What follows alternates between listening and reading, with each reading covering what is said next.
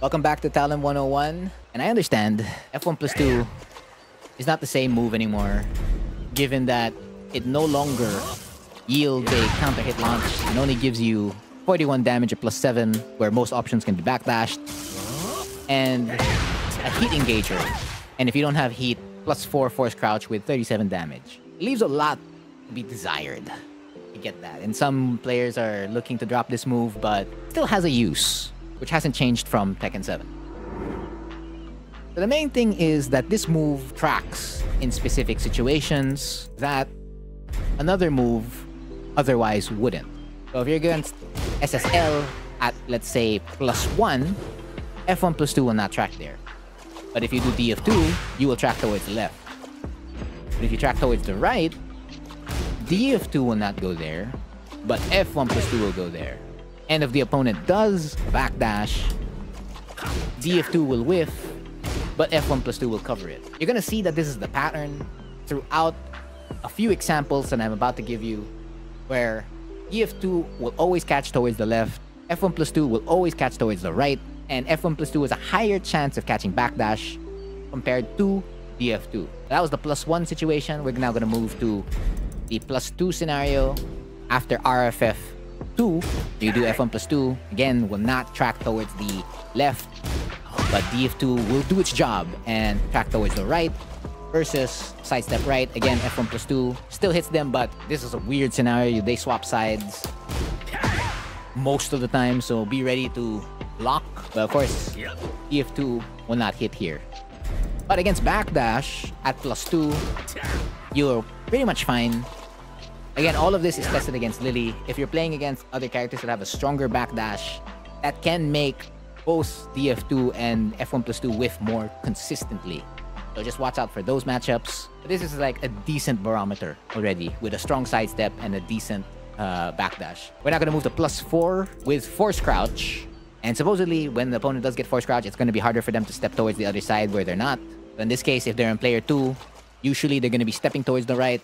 And at that point, F1 plus 2 will always have your back, where DF2 wouldn't. But of course, if we, we if we were to swap this, then it becomes a different story, where DF2 has your back, and F1 plus 2 doesn't. But of course, if they do backdash, DF2 continues to not be in action while F1 plus 2 is. Going further, let's go to plus 5 now. So plus 5 on hit after, let's say, a 4-3. This is when the number, or this is when F1 plus 2 starts to become way more consistent than DF2. So again, that was against sidestep left. Again, you saw F1 plus 2 did hit earlier. This is now against sidestep right. Consistent. DF2 not catching sidestep right. Side walk left. This is when it whiffs. And it's probably the only option your opponent would have to answer if they wanted to avoid the scenario. There you go, stay there, beat sidewalk right. So that means sidewalk right has a little bit of an asterisk depending on the range of when it hits. But you can still gamble on it if you'd like. And if they do backdash, again, F1 plus 2, covering that scenario where DF2 isn't. Last one I'm going to show you is of LFS1. This is LFS1 on block in particular. Again, we'll go back to sidestep left. F1 plus 2 still catching. DF2 continues to keep it at SSL. Sidestep right. Yep. And then, of course, if you attempt to do DF2, it's not there. Sidewalk left against the one thing they can do. Then sidewalk right. Catch. I believe LFS1 doesn't have the asterisk, or if it does, know that it can lose from time to time. So in general, if the opponent is stepping towards the right, you're going to be doing F1 plus 2 to catch them. And then if they are stepping towards the left, that's where DF2 comes in. You can't default for one move over the other. The only time you really do that is if you have a read that the opponent will press a button, then yes, I will highly agree that you should just press DF2. And even if you trade, you can still get a lot of damage off it. That can be improved upon. By like a lot. If you have the read.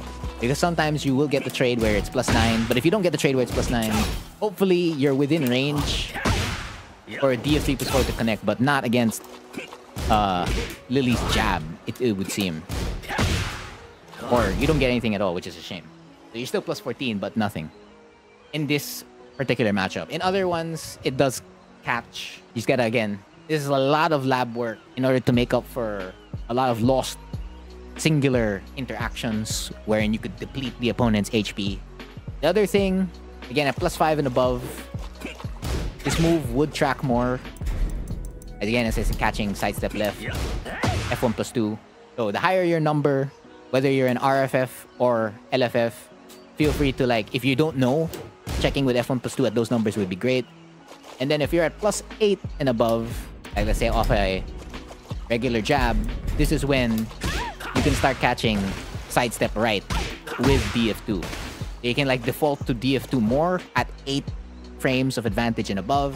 But for as long as you're not at that number at plus 5 and they're not stepping towards the left or you're unsure, that's where F1 plus 2 continues to do work. That was the lesson for today. I've been Frontier. And thank you for watching.